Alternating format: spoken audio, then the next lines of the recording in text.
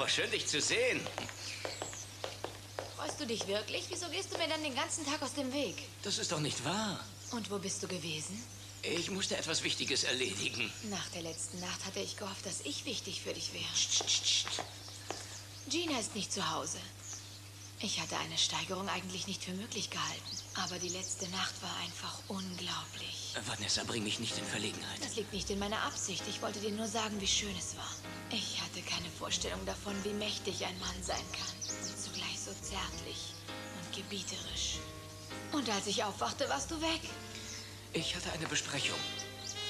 Bist du noch böse auf mich wegen dieser Prügelei? Natürlich nicht. Komm, sei ehrlich. Du bist so eigenartig. Na gut, Vanessa. Die letzte Nacht war auch für mich etwas Besonderes. Ich habe mich noch nie so gehen lassen, glaub mir. Du warst so dermaßen sinnlich, unglaublich. Nein. Ich bin von deiner Schönheit geblendet worden. Ich habe nicht klar denken können. Als ich heute Morgen aufgewacht bin, war mir klar, dass es nie wieder passieren darf. So geht das nicht. Ach, Unsinn. Nein, nein, nein, es war ein großer Fehler. Es kam viel zu überstürzt. So etwas, das, also so eine Sache, die... Ach, Bunny, du versuchst zu mir Nein zu sagen, aber deine Augen sagen Ja. Du willst mich jetzt mehr, als du mich je gewollt hast.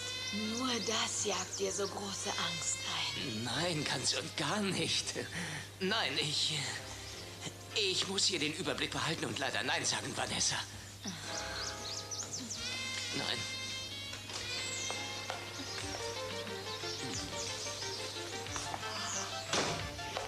Was soll denn das? Könnt ihr mir das erklären?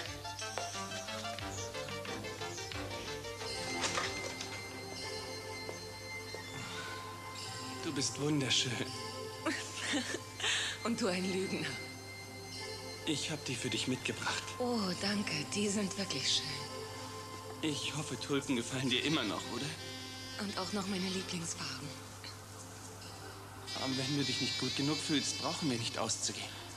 Doch, es geht mir gut. Es geht mir sogar ich dachte mir, da du fantastisch. gerade erst aus dem Krankenhaus raus bist, fühlst du dich vielleicht noch ein bisschen schwach. Du kannst es ruhig zugeben. Das würde ich. Ich verspreche es, Dr. Clark. Na gut. Aber in diesem Moment fühle ich mich besser als in den vergangenen zehn Jahren.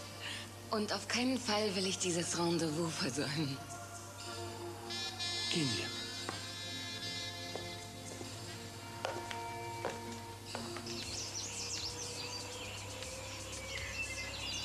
Johnson, gibt es was von Mallory? Nein, er ist immer noch mit der Frau im Haus. Ist was zu sehen? Nein, Sir. Aber wie ich Mallory kenne, ist er in der Küche und steckt sich den Bauch voll. Jetzt keine Witze, sagen Sie es, wenn Sie was sehen. Ja, Sir.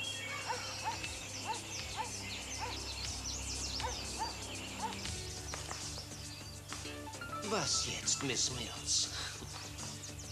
Die Waffe auf den Boden und dann langsam zur Tür. Das kennen Sie so aus dem Fernsehen.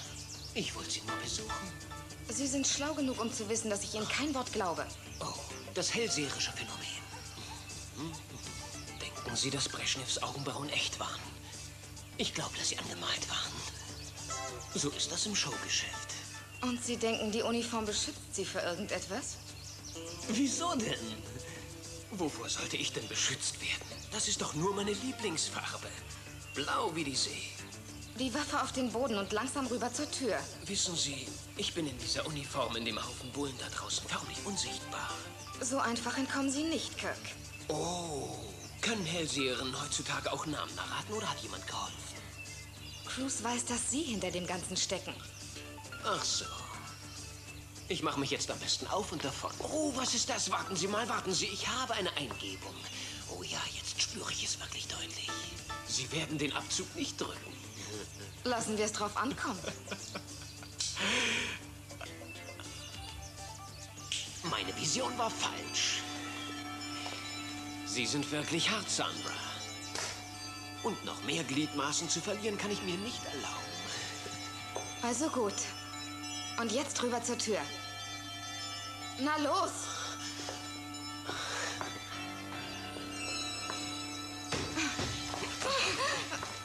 Dachten Sie, ich hätte auch übernatürliche Wahrnehmungen? Das war Officer Mallory. Der Vorbesitzer dieser schönen Uniform. Da drin scheint es ihm nicht zu gefallen.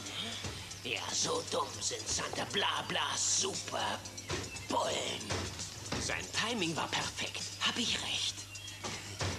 So schnell geht das. Jetzt habe ich die Kanone. Nun können Sie mir zeigen, wie mächtig telepathische Kräfte wirklich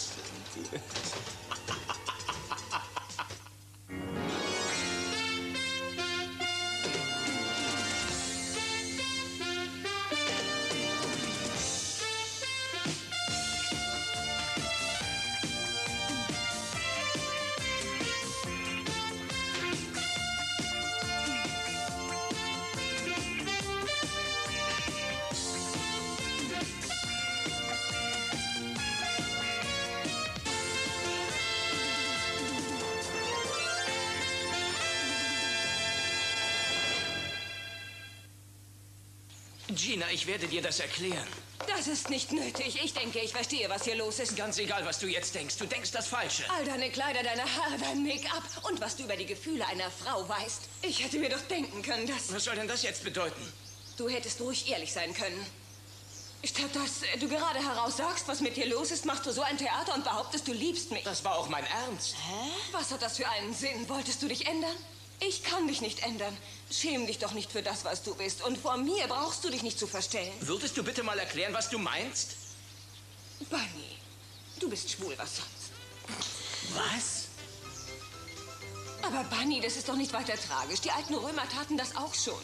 Gina, jetzt hör mal zu. Du musst dich deswegen doch nicht schämen, Bunny. Ich bin eine moderne Frau, mich kann das nicht schockieren. Ich bin doch deine Freundin, Ich oder? dachte, wir wären mehr als Freunde und schwul bin ich nicht. Ist nicht der Rede wert, Bunny. Das war also dein kleines Geheimnis. Ich hoffe nur, Vance ist nicht wirklich dein Cousin. Nein, Vance ist nicht mein Cousin. Vance ist auch nicht Vance. Vance ist Vanessa. Sie verkleiden sich auch gern. Ja, ihr stehen die Kleider allerdings besser als mir. Na, wunderschön. Also hat jeder sein Hobby, oder? Siehst du? Oh Mann. Ich brauche jetzt einen Drink.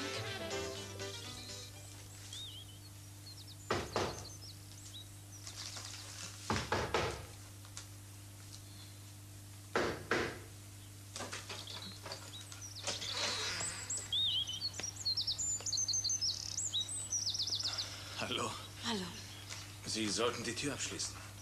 Heather, ich konnte nicht so einfach wegfahren, nach dem, was gerade passiert ist. Äh, Aber wenn Sie allein sein wollen. Nein. Nein, Jet, ist schon gut. Kommen Sie rein. Naja, ich bin ungefähr eine Stunde herumgelaufen und habe mich gefragt, was hier eigentlich passiert ist. Und mir ist klar geworden, dass ich mich bei Ihnen entschuldigen muss. Es war doch nur ein Kuss. Das ist kein Grund, um sich zu entschuldigen. Ich werde die Tür wohl reparieren müssen. Das gefällt mir an Ihnen, Jet. Was denn? Sie verzweifeln nie, wenn etwas kaputt ist. Sie sagen nur, ich repariere es. Eine geniale Eigenschaft. Kann ich Ihnen etwas, ähm, etwas Saft oder sowas? Oh, ist etwas? Ja, das ist mein Magen. Sie sollten sich vielleicht ausruhen. Von der Grübelei werden Sie noch vollkommen krank. Es wäre mir schon geholfen, wenn ich mich entscheiden könnte, ob ich traurig oder wütend oder vielleicht deprimiert sein soll. Misskompliziert ist immer alles zugleich. Vielleicht versuchen Sie mal, die Sache gelassen hinzunehmen. Ich nehme das so gelassen hin, dass ich fast ein Haus niedergebrannt hätte. Ach, Sie wären auch ohne meine Hilfe wieder zur Vernunft gekommen. Ja, vielleicht nachdem halb Santa Barbara in Flammen gestanden hätte. Ach, keine Ahnung, ob ich je wieder vernünftig werde. Es scheint Ihnen besser zu gehen. Es ist wirklich sehr seltsam, aber egal wie traurig oder depressiv ich werde, ich denke immer nur an Scott. Ich kann nicht aufhören, ihn zu lieben. Ich bitte Sie, Hedda, es ist nicht mal einen Tag her. So ein Gefühl verschwindet nicht so schnell. Das will ich, aber ich will ihn nicht mehr lieben. Ich bin mein ganzes Leben lang verschlossen gewesen und habe niemanden an mich herangelassen. Sogar bei Scott war es damals so.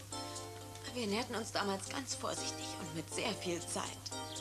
Und als ich mir wirklich sicher war und mir eingestand, dass ich ihn liebte, wusste ich, dass es richtig war. Und ich war damit zufrieden, ihn einfach zu lieben. Das war Dr. Heather Donnellys brillante Diagnose. Jetzt machen Sie sich bitte keine Vorwürfe. Ich stelle mich nur den Tatsachen. Meine Liebe zu ihm war nicht stark genug, sonst wäre er bestimmt jetzt hier bei mir anstatt bei. Hm. Schon gut, ich soll mir keine Vorwürfe machen.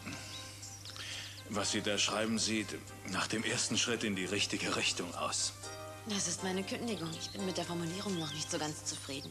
Das wird schon so gehen. Es wäre sicher nicht gut, dort weiterzuarbeiten. Ja, genau. Ich würde es wohl kaum ertragen, jeden Tag Scott und Celeste toteln zu sehen. Das wäre schrecklich. Ich bringe es für Sie zum Krankenhaus. Ah, dann müssen Sie es aber erst noch für mich fertig schreiben. Leider fallen mir nicht die passenden Worte ein. Dafür gibt es sicher einen Grund. Und welchen? Hm, vielleicht wäre es besser, es ihm persönlich zu sagen. Als Maul! Mistbulle! Irgendjemand wird uns hören. Sie sollten auch die Klappe halten, Lady. Sie haben schon genug Schaden angerichtet.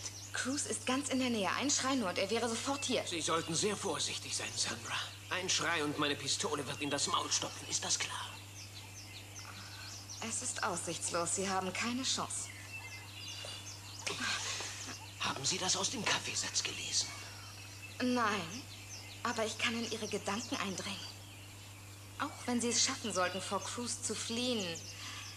Immer werde ich genau wissen, wo Sie sind, weil ich alles fühlen kann, was Sie gerade fühlen. Naja, da bin ich froh, dass es nicht umgekehrt ist. Weil ich Sie jetzt töten werde. Der Revolver ist nicht geladen. Pech für Sie. Oh.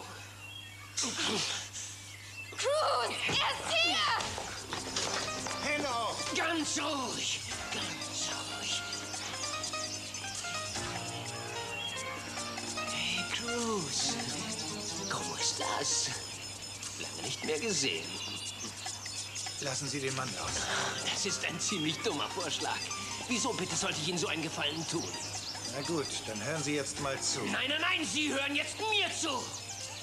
Wenn Ihnen das Leben dieses Mannes etwas wert ist, dann hören Sie mir zu. Wenn Sie nicht sofort die Waffe runternehmen, lege ich diesen netten Kollegen um. Kirk! Hä? Also runter damit. Kirk, sehen Sie nicht, dass das Spiel aus ist? Sie haben keine Chance mehr, sich irgendwo zu verstecken. So ein Blödsinn. Als wenn Sie es nicht wüssten. Ich kann mich immer irgendwo verstecken. Adios. Kirk! Sie gehen hinten rum, ich folge ihm. Pass auf dich auf, Cruz!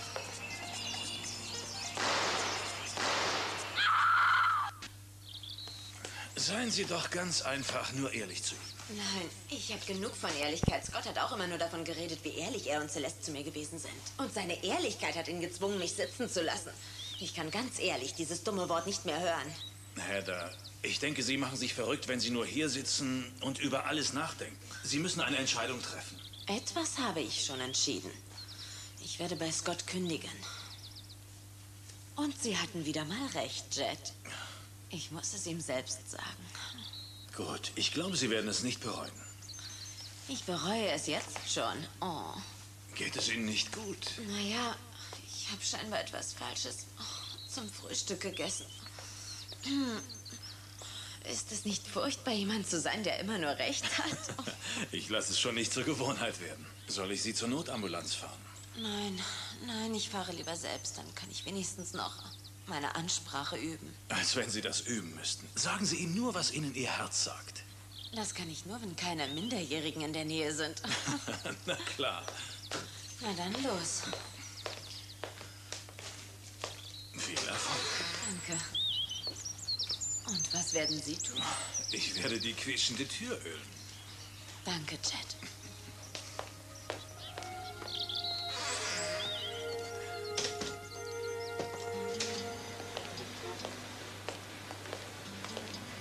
Möbel gibt es hier leider noch so gut wie Das keine. macht nichts. Ist doch toll. Es ist doch wunderbar. Mir jedenfalls gefällt es ja auch so. Nur keine Umstände. Ich hatte ursprünglich vor, zum Strand zu gehen. Stehst du immer noch auf Picknicks? Natürlich. Weißt du noch, wie wir damals irgendwo in der Nähe von Ojai waren? Wir hatten uns Pferde ausgeliehen. Ich hatte nie zuvor auf einem Pferd gesessen. Ich hatte solche Angst. Und du warst John Wayne. Äh, ja, ich habe aber nur geblufft. Ich hatte auch noch nie zuvor auf einem Pferd gesessen. Naja, du hast es dir jedenfalls nicht anmerken lassen. Ich, Ich weiß noch, dein Pferd hatte seinen eigenen Willen, aber du warst schlau genug, drauf sitzen zu bleiben. Schlau nennst du das? Ich hatte nur zu viel Angst, etwas anderes zu unternehmen. Als das Vieh losrannte, dachte ich, es sei aus. Und auf dem Grab hätte gestanden, hier liegt Celesti Napoli, getötet von dem wohl zweitdümmsten Lebewesen. Und welches ist das Dümmste? Ich natürlich, weil ich so leichtsinnig war, das Tier zu besteigen. Ich habe damals noch Hilfe holen wollen. Und dann habe ich nach dir gesucht und geschworen, dass ich es mir nie verzeihen würde, wenn dir etwas passiert wäre. Und plötzlich fand ich dich. Ganz lässig saßt du da oben auf dem Pferd und das fraß in Ruhe Gras. Noch nie habe ich ein so fröhliches Lachen auf deinem Gesicht gesehen. In dem Moment habe ich dich mehr denn je geliebt. Wofür ist die Decke? Für nichts. Ach so? Und wofür ist das? Du musst jetzt erst was essen, dann wirst du es schon herausfinden. Ich liebe Überraschungen. Ich weiß. Du kommst gut voran mit deiner Renovierung, oder? Was ist das? Das war eine Art Unfall. Es wird sehr schön hier. Ja, wir wollten einfach. Ich, ich wollte einfach alles renovieren, bevor ich hier einziehe. Du hast viel verändert im Vergleich zu damals. Das kannst du laut sagen. Er hatte alles mit dunklen Farben bemalt und der alte Teppichboden war mehr als verschlissen. Ja, es ist einfach nichts mehr so wie damals. Denkst du, es ist gar nichts mehr so wie früher? Nein. Nur, dass sich zwischen uns nichts geändert hat. Das ist doch das Wichtigste. Das hoffe ich für uns. Weißt du, was ich in der ganzen Zeit am meisten vermisst habe?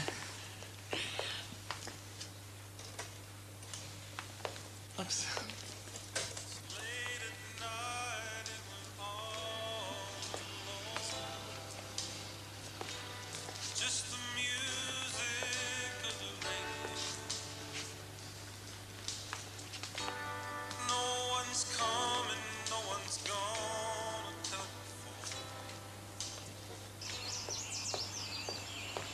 Ihnen wirklich Machen nichts Sie sich keine Sorgen, Cruz. Ich komme vor wie ein Idiot, weil der Kerl mich Ja. hat. Wo ist er? Auf und davon. Ich halte im Kopf nicht aus. Ich habe diesen Bastard getroffen, das weiß ich genau. Ein Kerl mit einem Holzbein rennt drei Er Polizisten kann nicht so davon. weit gekommen sein. Ich bin sicher, er ist irgendwo in der Nähe. Johnson, Sie kümmern sich darum, dass die Gegend Jawohl, abgeriegelt wird. bei dir. Nein, ihr geht sofort zu meinem Haus und wartet, dass ich euch dort anrufe. Jetzt verschwindet.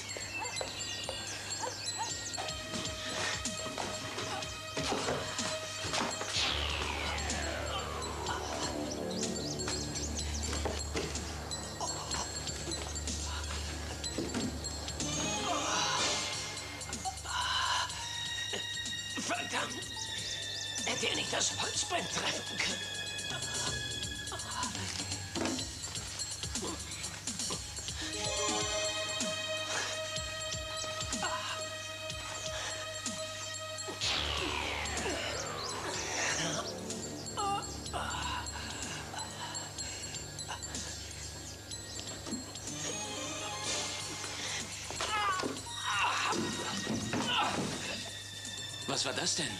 Das Geräusch kam aus dem Keller. Versuch doch nicht abzulenken. Sagt mir endlich, was in diesem Haus vorgeht. Gina, es ist doch nichts weiter von Bedeutung. Nichts Nichts von von Bedeutung? Bedeutung? Was meinst du mit nichts von Bedeutung? Du hast sie angezogen wie ein Mann. Willst du aus meinem Haus einen Club für Perverse und Transvestiten machen oder was?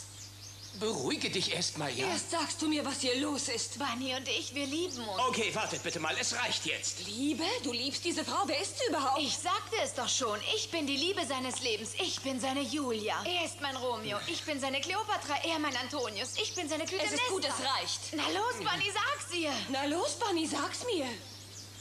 Gina, könnte ich mal kurz mit Vanessa reden? Was?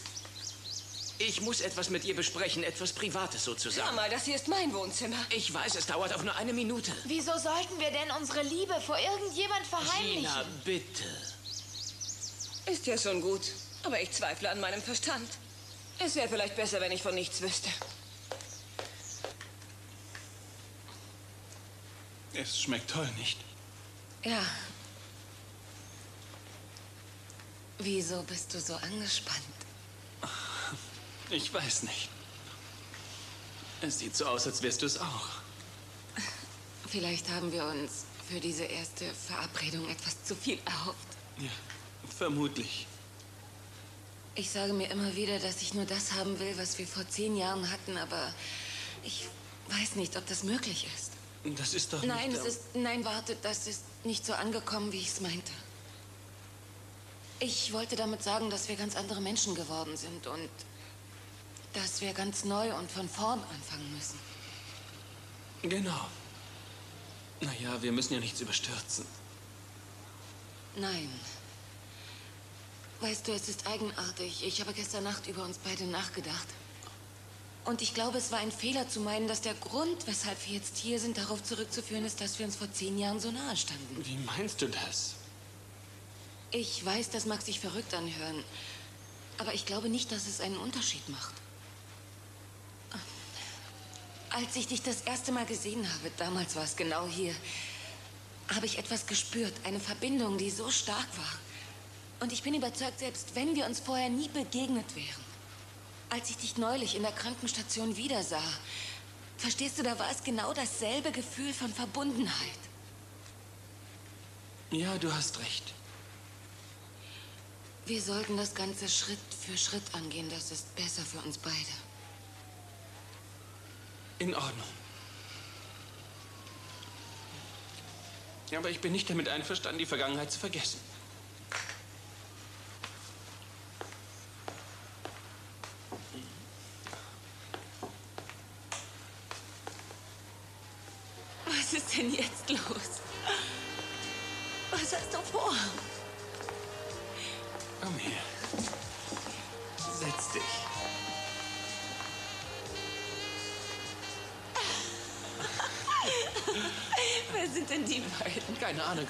Verraten uns die anderen Bilder mehr.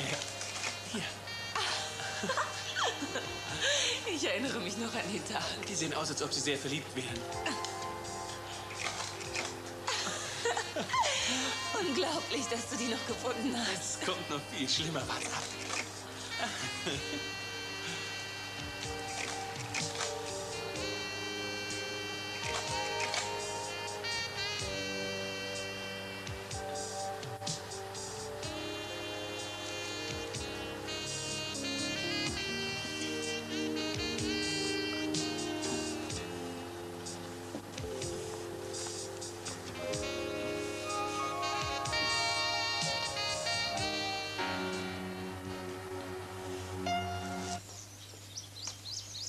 Wieso hast du es ihr nicht gesagt?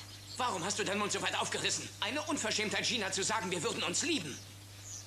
Und was war letzte Nacht mit uns beiden? Vanessa, hör doch mal zu. Nein, wir lieben uns doch. Ich kann es fühlen. Es gibt keinen Grund, es vor irgendjemandem zu verheimlichen. Wir sollten ihr alles erzählen. Nein, nein, nein, auf gar keinen Fall. Warum nicht? Ich bitte dich. Wenn sie herausfindet, dass Lalde Franco uns zur Heirat zwingen will, dann kapiert sie, dass nur meinetwegen auf Sunny geschossen wurde. Was für eine Rolle spielt das noch? Mein Großvater ist bereits verurteilt worden. Gegen dich liegt doch gerichtlich gar nichts vor. Ach, ich weiß auch nicht.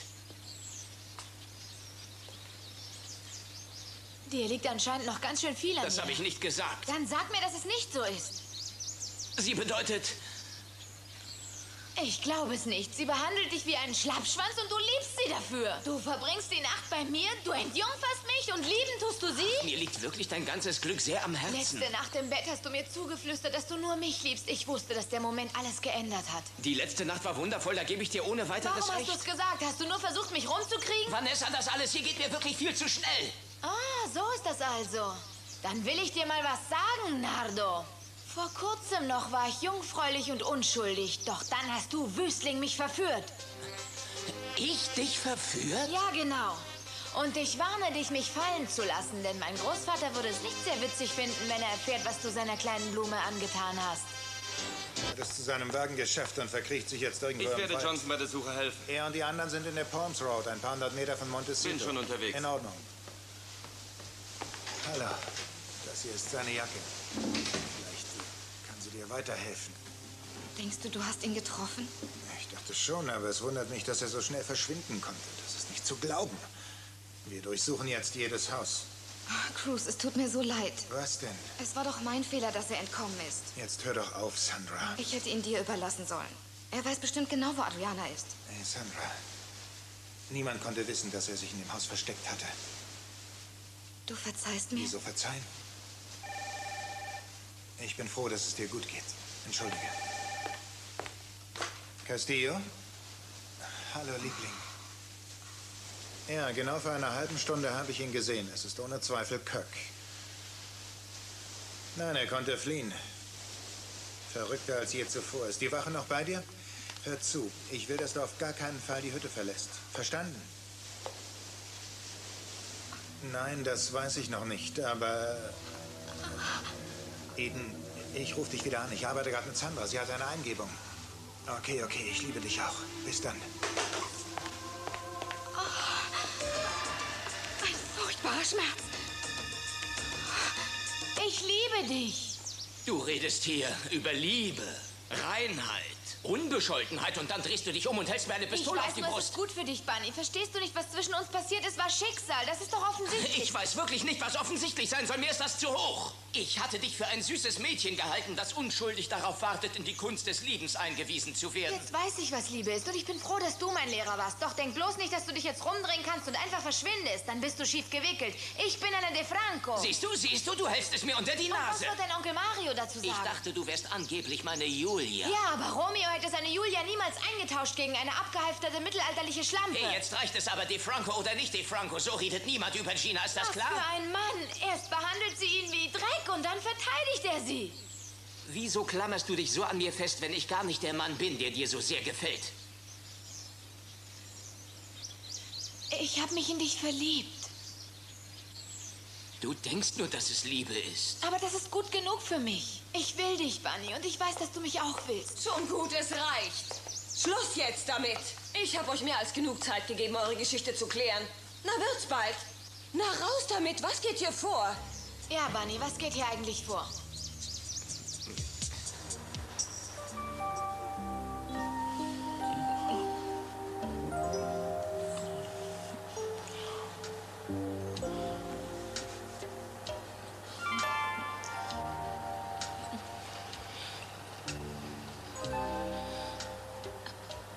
Du musst mich verstehen. Mir ist klar, dass wir schon so lange gewartet haben. Doch es geht einfach bei mir nicht so schnell. Ist schon gut, tut mir leid. Ich habe mich nur schon so darauf gefreut, dich zu küssen, dass ich dir nicht länger widerstehen Mir konnte. geht es genauso. Ich habe auch den Wunsch, jetzt mit dir zu schlafen. Nur, ich bin einfach noch nicht so weit. Ist schon gut, schon gut. Es kommt mir so vor, als wären wir schon ewig zusammen. Wir sind uns so verbunden, weil wir zwei uns schon so lange kennen. Aber wir haben uns geändert, denn es liegen zehn Jahre dazwischen. Ich denke, wir sollten noch mal ganz von vorne anfangen, als würden wir uns nicht kennen. Bitte sei mir nicht böse, bitte. Nein, aber keineswegs, das bin ich nicht. Du hast ja recht. Celeste, ich will dasselbe, was du willst. Wirklich? Ja.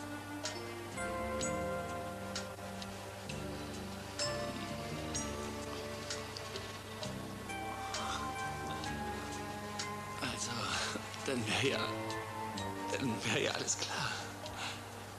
Wir haben das Essen weggeputzt und alle Dias angesehen. Damit wären alle meine Tagesordnungspunkte erfüllt. Was machen wir jetzt? Hast du Karten? Nur wenn ich das Spiel aussuchen darf. Na gut.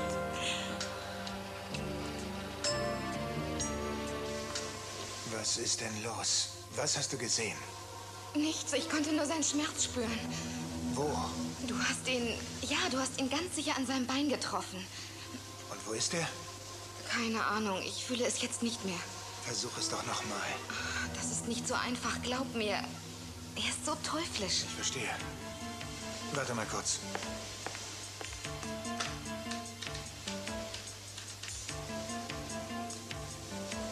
Hallo, ja, hier ist Cruz. Hören Sie zu. Der Mann, nach dem wir fanden, ist verwundet. Ja, ich bin sicher. Und ich will, dass Sie alle Krankenhäuser und Notambulanzen sorgfältig überprüfen. Ganz genau. Und wenn Sie anfangen, sein Auto zu durchsuchen, rufen Sie mich an. Ich will bei der Untersuchung dabei sein. Gut, danke. Du denkst doch nicht daran, mich wegzuschicken, oder? Sandra, er hätte dich umbringen können. Du wärst tot, wenn die Waffe geladen gewesen wäre. Aber wir können ihn nur zusammenfinden. Macht es dir keine Angst, wie gefährlich das alles ist? Keineswegs. Ich bin in seine Gedanken eingedrungen. Ich bin auf ihn eingestimmt. Wenn du mir jetzt ein wenig Zeit gibst, dann finde ich ihn ganz sicher. Das, das ist alles viel zu riskant. Du weißt, dass dieses Gefühl mich immer zum Ziel führt. Es war so bei Katharin und auch bei Ich Ramon. bin von deinen Fähigkeiten überzeugt, darum geht es doch nicht. Ich könnte es doch wieder tun. Ich habe es Kirk gesagt. Was hast du ihm gesagt? Ich sagte ihm, dass ich in seinen Geist eindringen würde. Das hat ihm Angst gemacht. Deswegen will er mich umbringen. Und jetzt ist er bestimmt in Panik und handelt unüberlegt. Bitte, Cruz. Ich werde dir eine große Hilfe sein. Sei doch nicht eifersüchtig. Hä? Wieso sollte ich? Leugne es doch nicht länger. Mach jetzt bitte kein Theater, dann müsste ich ja in dich verliebt sein, um eifersüchtig zu werden. Wieso interessierst du dich noch für sie? Ich habe dich etwas gefragt und wenn du die falsche Entscheidung triffst, weißt du ja, was auf dich zukommt. Würden Sie jetzt endlich den Mund halten und ihn etwas Das sagen lassen? schon zum zweiten Mal, wenn ich richtig gezählt habe. Hören Sie auf und halten Sie den Mund! Soll ich sie verprügeln? Sie Was hätten denken Sie denn, wer verdient. Sie sind? Ich werde Sie Oh. rauswerfen! Sie Das können muss mir ich keinen mir in meinem Haus Sie nicht bieten! Damit alle beide aufhören, sofort! Vanessa ist ein Mädchen, das ich äußerst gern habe. Wie einfallsreich. Wieso erzählst du mir nicht mal was Neues? Vanessa ist ein Mädchen, der ich mal was bedeute. Sie erweist mir Respekt und Achtung. Sie behandelt mich wie einen Mann. Und weil sie mich liebt, wie ich bin, gehe ich mit ihr fort. Oh, carissimo. Du blöffst doch. Wieso sollte ich noch, Gina? Ist es so überraschend, dass ein Mädchen mich liebt? Und überrascht es dich, dass eine Frau keinen Schoß und in mir sieht? Ja, überrascht es dich wirklich, dass man mich auch respektieren kann? Ist das so neu für dich? Wieso überrascht dich das? Und du meinst, das glaube ich dir, hä? Ja, Warum dann die Lügen? Wieso erzählst du mir, sie wäre dein Cousin? Wozu die ganze Verkleidung? du weißt jetzt alles, was nötig ist. Na dann. Wartet ihr noch auf meinen Segen oder was? Keinesfalls. Danke, nicht nötig. Dann geht.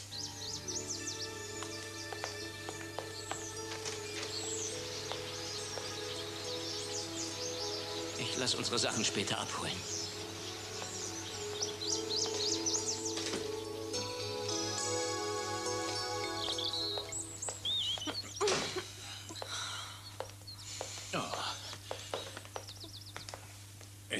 So gut gelaufen, nehme ich an. Es fand keine Unterhaltung statt. Wieso nicht? Ich war so naiv. Und er war so überzeugend. Ich wollte ihm glauben, zu blöd. Er sagte, er liebt mich. Er würde nur Zeit und Abstand brauchen. Er wolle nachdenken. Er hat nicht viel Zeit gebraucht, sich in ihre Arme zu schmeißen. Heather, Sie müssen stark sein. Ich weiß nicht wie. Ich halte das nicht aus. Es ist so. Ich ertrag das nicht.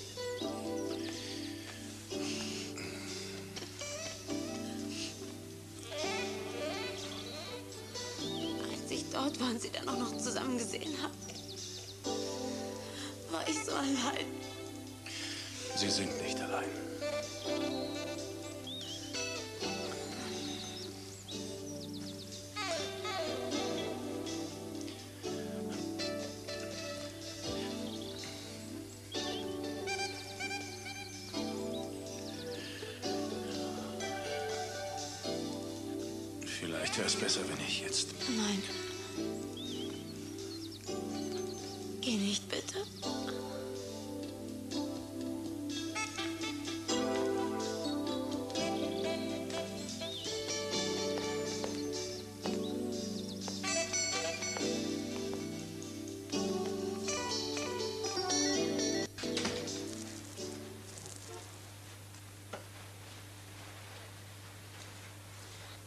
Was hast du?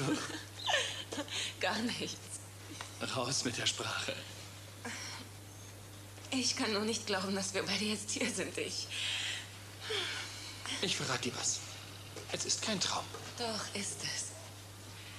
Es ist genau der Traum, den ich zehn Jahre lang vor Augen hatte. Meine auch. Manchmal, wenn ich Kummer hatte, ja, dann habe ich an dich gedacht und gehofft, dass wir beide uns einmal wiederfinden. Das Hoffen und das Warten ist jetzt vorbei. Ja, trotzdem habe ich immer noch Angst, Warum denn? weil ich es eigentlich immer noch nicht glauben kann. Wäre es nach mir gegangen, dann hätten wir uns niemals getrennt und wären schon zehn Jahre glücklich. Ich hätte dich bestimmt nicht verlassen. Ich weiß. Manchmal stelle ich mir nur vor, was aus uns beiden geworden wäre. Es hätte traumhaft werden können. Das kann es immer noch. Ich hoffe es so. Du hast es gerade vor ein paar Minuten gesagt. Von jetzt an wird alles perfekt sein. Ich gebe dir mein Versprechen, dass es so sein wird. Was bedrückt dich? Du hast doch keine Zweifel oder Befürchtungen unseretwegen. Nein, nein, wieso du etwa? Nein, nein, natürlich nicht. Celeste, jede Minute mit dir allein zeigt mir mehr und mehr, wieso ich dich schon vor zehn Jahren so sehr wollte. Ich habe immer an dich gedacht. Schon damals war ich unsterblich in dich verliebt. Und jetzt schaue ich dir in die Augen und sehe einen Mann, der so stark ist und so wunderschön. Ich verliebe mich immer wieder neu in dich.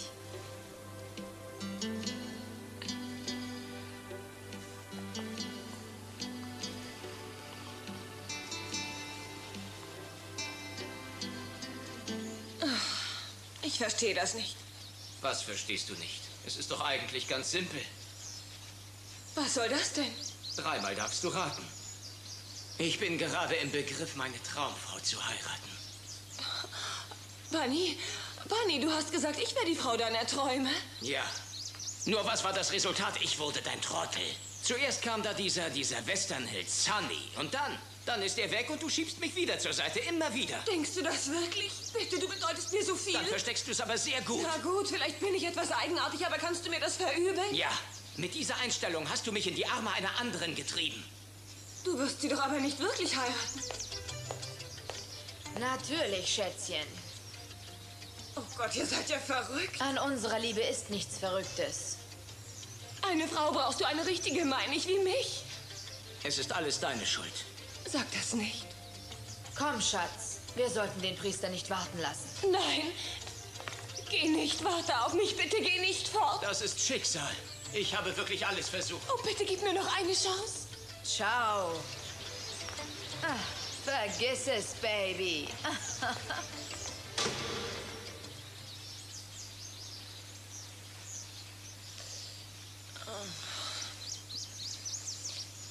Das habe ich ja wieder mal toll gemacht. Ich würde zu gern wissen, ob Sie beide Spaß daran haben, sich so anzuziehen. Hm. Seltsames Dasein, das ich hier führe. Mein Sohn lebt bei Mason und mein bester Freund rennt in die Arme der nächstbesten Maus, die sich wie ein Mann anzieht. Hm. Andererseits gibt es jetzt nichts mehr, das schiefgehen kann.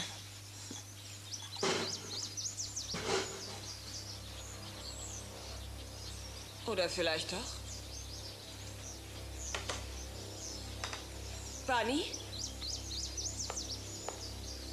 Bunny, bist du das?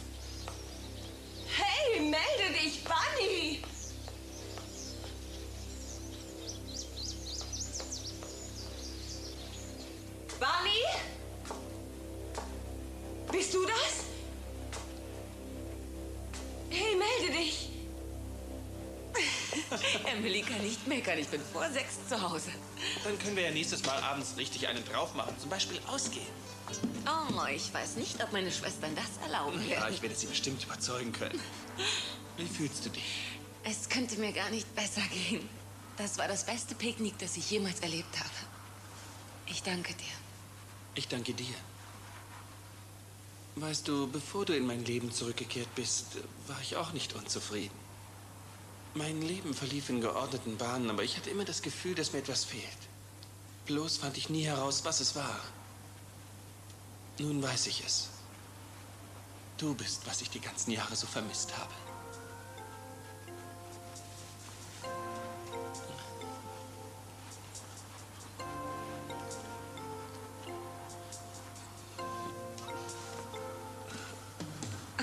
Sag mir, wann ich dich wiedersehe. Wann immer du willst. Naja, ich würde es gern genauer wissen, damit ich etwas zum Träumen habe. Wie wär's mit morgen? Ich habe heute Nachtdienst. Und wann? Zum Abendessen? In Ordnung. Und weil du heute gekocht hast, revanchiere ich mich morgen. Nimm dich in Acht. Gleich zwei Verabredungen hintereinander. Was sollen die Leute denken? Womöglich steckt da mehr dahinter. Kann schon sein. Alles ist so diffus. Kirk hat große Schmerzen. Er ist aufgeregt und ganz erschöpft. Ja, aber wo ist er? Es ist kalt und dunkel. Kannst du vielleicht... Äh, ist sonst jemand bei ihm? Nein, es ist zu dunkel. Und kannst du fühlen, wo er sich befinden könnte? Nein, es, es geht nicht. Tut mir leid. Schon gut. Das ist in Ordnung. Nein, es ist nicht in Ordnung. Wir haben keine Zeit Samuel, mehr. Immer eins nach dem anderen. Warten wir es ab.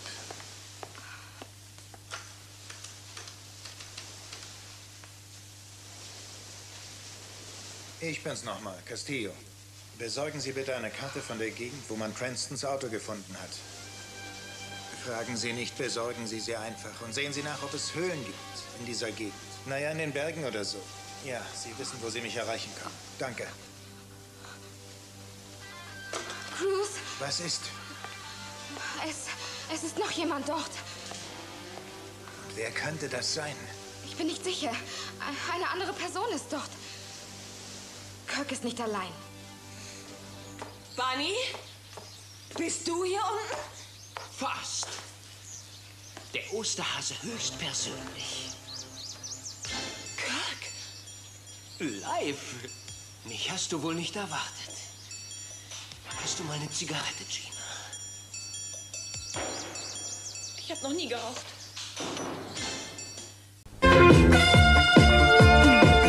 Liebe und Leidenschaft, Intrigen und Hass. Wie es weitergeht, erfahren Sie schon morgen zur gewohnten Zeit im California Clan hier bei RTL.